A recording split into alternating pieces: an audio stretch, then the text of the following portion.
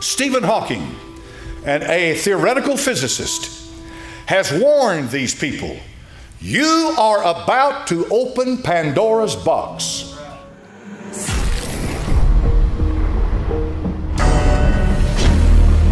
A mysterious device that can bend reality. That can bend reality. That can bend reality and make any dream come true. But power has a price.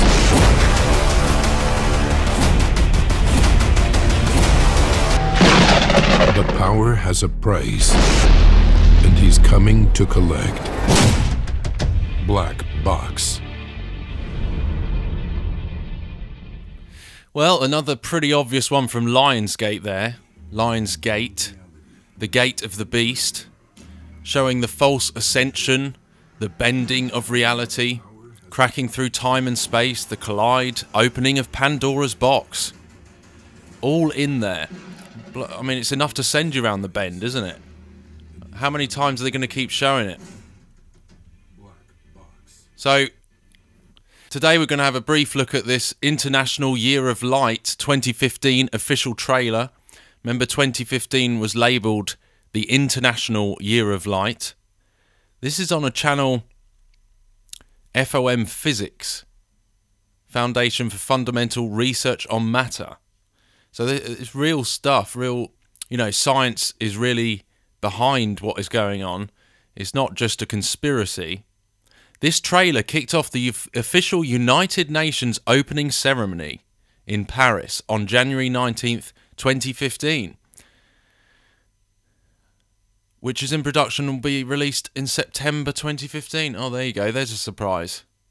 September 2015 release. Look at that, straight away, the breath. And it's a female breath if you listen closely. Probably something to do with their belief in the sky goddess, Nut, interstellar, stellar stars, uh, and this divine breath thing that they've got going on in this trailer that starts off the whole thing. Ultimately, this all ties back into eventually into Lucifer, of course, the false god, counterfeit, the hijacker. So don't get too lost in all these fables, but just read the Bible that tells you that this is all about powers and principalities in high places, the fallen angels. Stella meaning star. So the blinding light.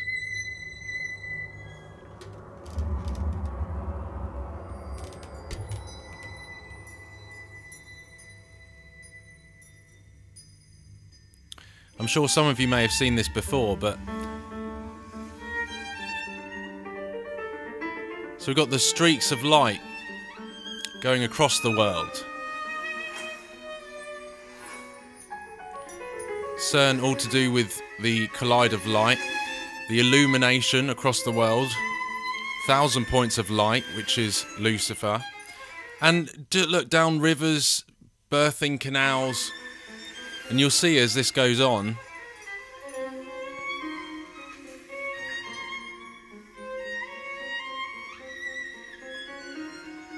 Look at that eight pointed star, Ishtar, and the light. So through the shaft in CERN there, and look at that, straight after, through that shaft in CERN, and then we come through this cave or womb, uh, birthing canal. You see how this is all being shown? makes you wonder half the time whether they know what these things mean all the time or whether it's subconscious, spiritual. But it is always there, it seems. The machinery.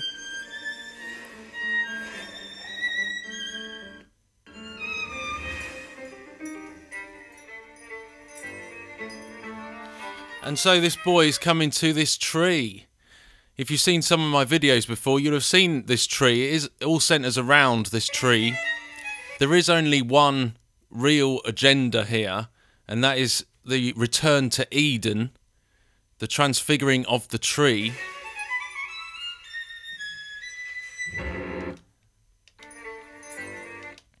Illuminating the world and coming to this tree. And the music is quite chaotic there, actually.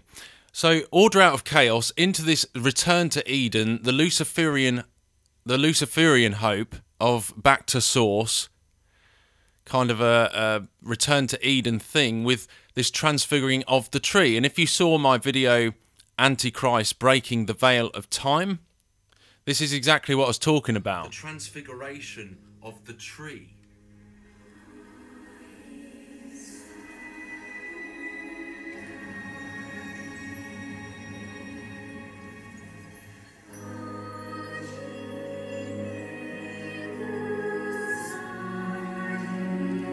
And that's exactly what it's about. It's about the transfiguring of the tree.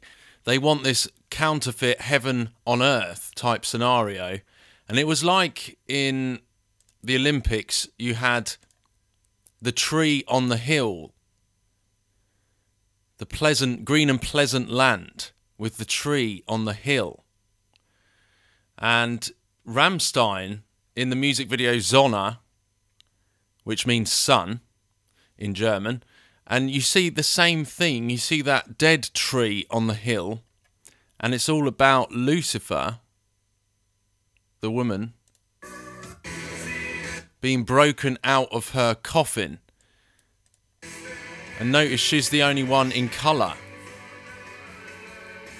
And the apple actually breaks her out, breaks the glass, and breaks her out of that coffin. And she's on top of that hill, on that mountain, with the tree. So you see, it's the same thing. It's about it's about transfiguring this tree. I mean, all of this video has got it in again. These uh, miners working in this almost black and white mine in the underworld, in the caverns, in the womb, finding gold, transfiguring the womb, climbing the ladder. It's all included. Here die Sonne. Here comes the sun. And that Lucifer figure, Snow White. She is the brightest star of them all. Sie ist der hellste Stern von allen. I can't really speak German too well. And you see that same Last Supper before coming out of the womb again, with her at the head of the table, the false god Lucifer in colour, the light, the false light, in colour with her apple.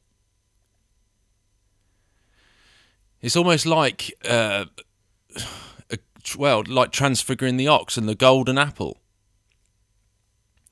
And they're sitting at this table like like the Last Supper and snorting gold dust.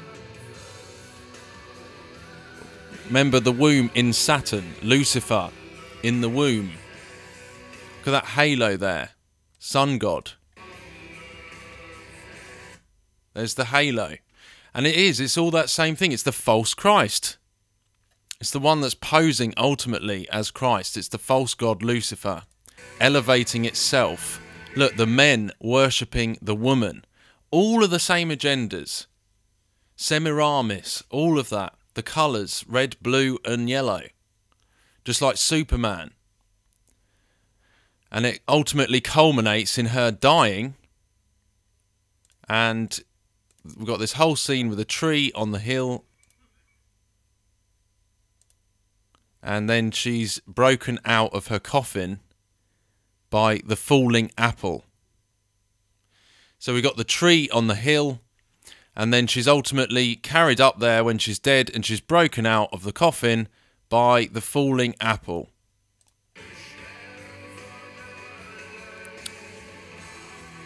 Look at that.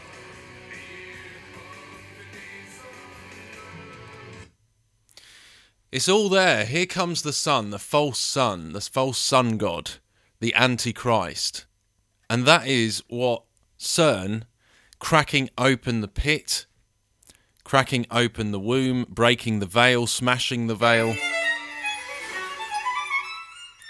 Just like that BBC one I covered before when you had that chaotic music. Look at this illumination, the tree. Aperture spiral, the gates. Again, like when a when a ca- a camera takes a photograph, for example, all these things have correlations with the spiritual world because what you bind on earth is bound in heaven. There's a direct relation. And so, like with the shutter on a camera, it freezes time. It freezes a moment in time when you take a photograph. And this technology comes from the abyss. Look at that spiral. The light. It's all sorcery. It's sorcery. The light, source. Back to source. Luciferian.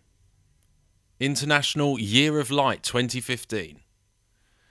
There you go. And then finished off by the Black Sun eclipse at the end. Sorcery. It's it's all man, just being shown outright. People really need to wake up to what exactly is being shown, how blatant it is being shown. And it really there really is no denying it because most of the public don't know what these things mean. And so it's only really a select few in this world, those that are waking up and obviously those who are perhaps initiates in these things or, or uh, you know speaking a language they understand so as we watch for signs of the end times we have been gifted with the capability and the knowledge of understanding what the enemy is unrolling in this world and i just encourage all to to read the bible it is all written in the bible what is to come these are just showing it in their own Luciferian way. And of course, the Bible does tell us the whole truth. So I encourage everyone don't don't reject the Bible just because they're pushing in the culture that it's, it's completely irrelevant and boring and bears no significance in this world because that is part of the deception. They're trying to get people away from that. And they're trying to push people towards accepting this false Christ the false return of Christ that the Jesuit, Vatican, Zionist, whatever, tribe of Dan are pushing and will try and lead and deceive the very elect into accepting this false Christ, which Jesus warned us about in the Bible. It, it, really, really shocks me how many churches, mainstream churches, I've been to in the last couple of years, and I don't think I've heard any one of them speak about a false Christ masquerading as light. I don't think I've ever heard one of them speak about what the Bible clearly tells us that there is going to be this great deception. It's almost like that a lot of people, and I pray that it's not so, and I pray that they wake up. Christian, many Christians will wake up before these things unfold.